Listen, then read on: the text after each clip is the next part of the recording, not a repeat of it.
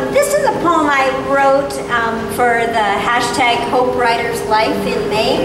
The prompt was story. so I call it story time. When your eyes open again, your old ways of thinking will have vanished from all memory.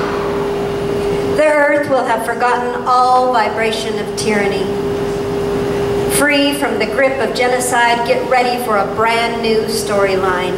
For the tide of togetherness is so strong, I fear we may all tumble headlong into a sea of harmony. So if you wish, close your eyes.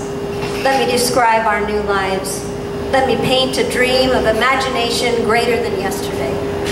Breathe the existence of freedom has become so real to me that it seems my duty to tell you what it feels like to abide the chaos and yet see and allow the order, the perfection, the notification, the layers of overlapping, of overlapping time, a hindsight view that accompanies each new dawn yawn, listen. I love to run ahead of life and surprise you with stories from future horizons of paradise.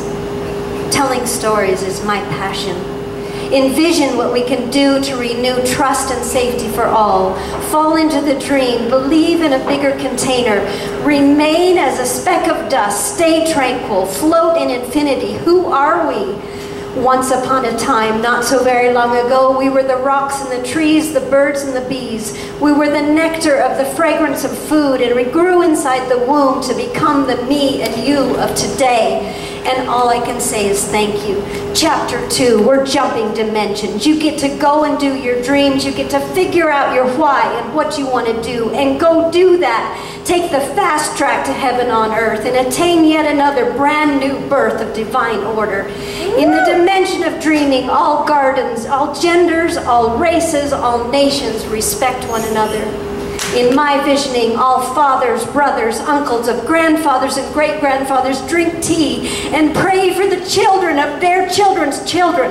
In my imagination, we have so many memories. We have no memory of abuse and genocide because we decided to stop harming each other and the planet returned to an abundance of provisions and resources. Chapter 3. I know you may not want to believe me, but seeing clearly can be as easy as asking yourself, who am I today?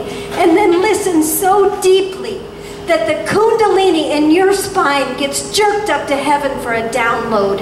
And in a rush of knowing, the fragrance of love has prevailed all trauma.